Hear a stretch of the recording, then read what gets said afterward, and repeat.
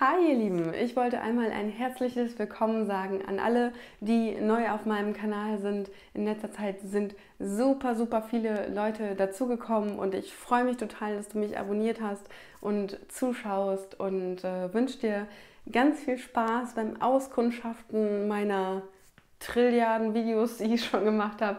Und äh, genau, hier kommt noch ein neues. Und zwar, wie du hören kannst, habe ich gerade meine erste Erkältung diesen Herbst erwischt und äh, trotz gesunder Ernährung und guter Pflege, also viel Ruhe und viel draußen sein, Abwehrkräfte stärken und so, kann das einfach mal sein, dass die Umwelt, äh, Umweltkräfte, die Umwelteinflüsse so stark sind, dass sich der Körper einfach nicht wehren kann. So.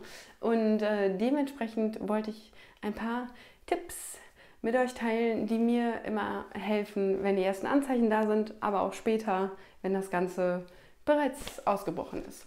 Ich habe es gerade schon gesagt, Ernährung ist super wichtig, um die Abwehrkräfte zu stärken. Aber wenn die Abwehrkräfte schon geschwächt sind, ist das erst recht richtig, richtig wichtig, dass du keine kontraproduktive Nahrung zu dir nimmst. Heißt, bitte kein Junkfood, bitte kein Zucker, bitte kein Koffein, kein Tein, weil das Sachen sind, die stimulierend wirken. Und wenn die stimulierend wirken, dann ist das nicht unbedingt dafür geeignet, dass dein Körper äh, Ruhe bekommt und äh, die ersten Anzeichen der Erkältung gut bekämpfen kann. Ist ganz viel Obst, ist ganz viel Gemüse, da kriegst du Vitamine, Mineralstoffe, die braucht dein Körper, um sich zu stärken.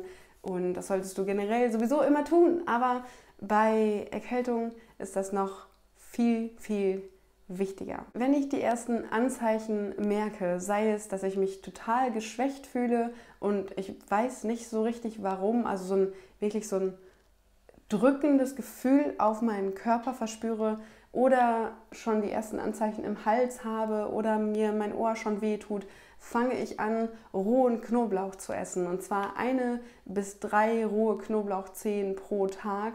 Ich habe aufgehört damit, es pur zu essen, weil ich gemerkt habe, wow, davon kann einem ganz schön instant schlecht werden, weil das so intensiv ist, dass der Körper einfach eine totale Abwehrreaktion dagegen hat.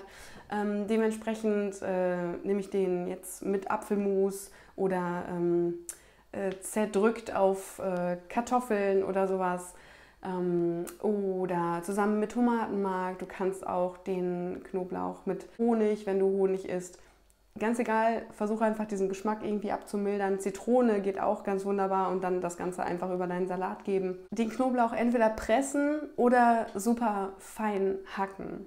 Ja, das ist meine Geheimwaffe Nummer eins. Aber ihr seht ja, es hilft auch nicht immer. So, also ähm, das sind alles nur Dinge, die dann symptommildernd helfen können. Was ich auch total empfehlen kann, sind Tees. Salbeitee Ingwertee, Kamilletee. Ich bin ja ein totaler Fan davon, Sachen selbst zu sammeln und dementsprechend nehme ich auch sehr gerne Hagebuttentee. Hagebutten könnt ihr jetzt sammeln. Die sind jetzt reif. Das sind die kleinen Dinger, wo man in der Grundschule immer äh, das Juckpulver mit abbekommen hat. Und die schneidet ihr einfach auf, gießt dann einen Tee davon auf. Wunder dich nicht, warum er nicht rot wird. Es liegt daran, dass es kein gekaufter Hagebuttentee ist. Bei dem gekauften Hagebuttentee hast du nämlich immer Hibiskus mit drin und deswegen wird der rot. Hagebutte ist von Natur aus äh, nicht rot, wenn man einen Tee draus macht. Nur die Frucht an sich ist rot. Was ich auch total empfehlen kann, mit Salbertee kannst du zusätzlich auch gurgeln. Ähm, also gurgeln ne, ist ja fast eigentlich klar, aber vielleicht für diejenigen, die es nicht unbedingt wissen, was dieser Begriff bedeutet. Du nimmst einen Schluck, ähm, kann auch Wasser sein im Übrigen, wenn du beim Zähneputzen im Winter und im Herbst einfach daran denkst, immer so 30 bis 60 Sekunden lang einfach nur mit Wasser dann in deinem Mund zu machen, dann sorgt das schon dafür, dass die Bakterien, die sich hier so ein bisschen angesiedelt haben, mit ausgespült werden. Und ähm, ja, also das kannst du mit Tee dann genauso gut machen und das hat dann nochmal eine extra Wirkung.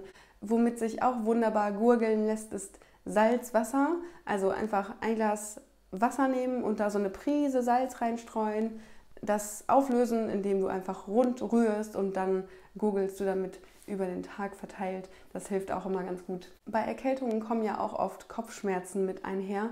Und da ist mein Tipp, so einen halben Zentimeter Ingwerwurzel nehmen, in den Mund, kauen. Ja, es ist extrem intensiv, ich weiß, aber es hilft genauso gut gegen Kopfschmerzen wie eine der führenden Kopfschmerztabletten.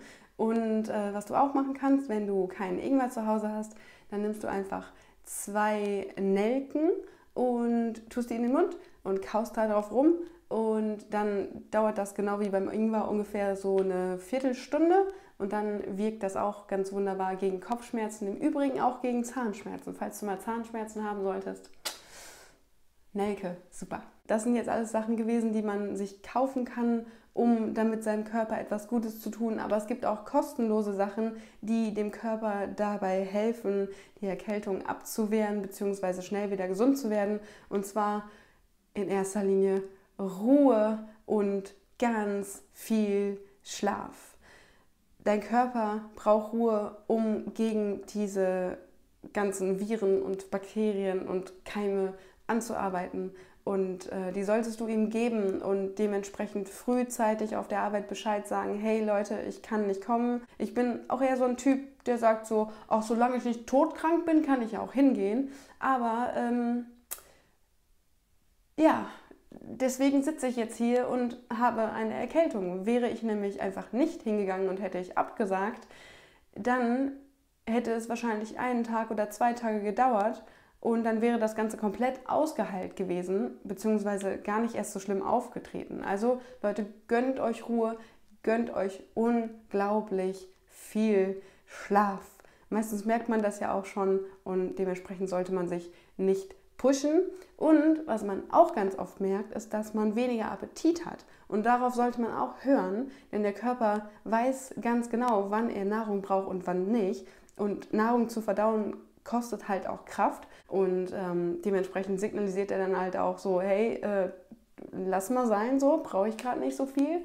Ähm, und was auch sinnvoll ist, ist, wenn du deine Mahlzeiten eher so konzentriert zusammenpackst, die du isst. Also jetzt nicht morgens isst, mittags isst und spät abends nochmal isst, sondern vielleicht einfach nur morgens und mittags und den Rest des Tages wirst du dann wahrscheinlich eh merken, okay, ich habe keinen Hunger. Genauso wie Tiere das eben auch haben. Tiere, wenn sie krank sind, essen halt auch nicht großartig viel. Und äh, in der Zeit, wo du halt nichts isst und quasi fastest, da hat dein Körper noch viel mehr die Möglichkeit, sich zu regenerieren und äh, ja, dich gesund zu machen einfach. Wenn die Nase zu ist, dann hilft es mir persönlich immer am meisten, wenn ich inhaliere. Ich habe nicht so ein fancy Inhalator-Ding, wo nur meine Nase und mein Mund so reinpasst. Ähm, dementsprechend nehme ich mir einfach eine Schüssel, kippe da heißes Wasser rein, tue da zum Beispiel äh, Salbeiblätter rein, eine Handvoll oder ein paar Tropfen Pfefferminzöl oder Eukalyptusöl. Es hilft auch sehr gut gegen Husten, also nicht nur für die zugestopfte Nase, sondern auch wirklich für komplett alle Atemwege. Ähm, was gegen Husten auch noch sehr gut hilft, Lindenblütentee oder Spitzwegerich-Tee. Das sind beides Sachen, die ich im Sommer gesammelt habe. Spitzwegerich findest du auf jeder Wiese und an jedem Wegesrand irgendwie da, wo der Boden so ein bisschen mehr verdichtet ist. Und Lindenblüten also Bäume, Linden, ja, die stehen halt auch überall rum. Und ähm, ja, genau, dementsprechend im Sommer vorbeugen, damit man im Winter davon profitieren kann. Dann gibt es ja noch dieses altbewährte Hausmittel mit dem Honig und den Zwiebeln. Du kannst auch einfach den Honig weglassen, wenn du keinen Honig möchtest und kannst einfach Zwiebeln in ein bisschen Wasser einmal aufkochen und die Zwiebeln dann entweder auspressen und den Saft dann nehmen, was ich persönlich für bekloppt halte, weil warum nicht einfach die Zwiebel in den Mund tun, gut kauen und dann runterschlucken, dann kriegt man noch mehr Vorteile dieser Pflanze. So, ich hoffe, die Tipps waren hilfreich für euch. Ich äh, werde jetzt auch nochmal gesund und tue mir nochmal ein bisschen Ruhe an und äh, wünsche euch gute Besserung und bis zum nächsten Mal.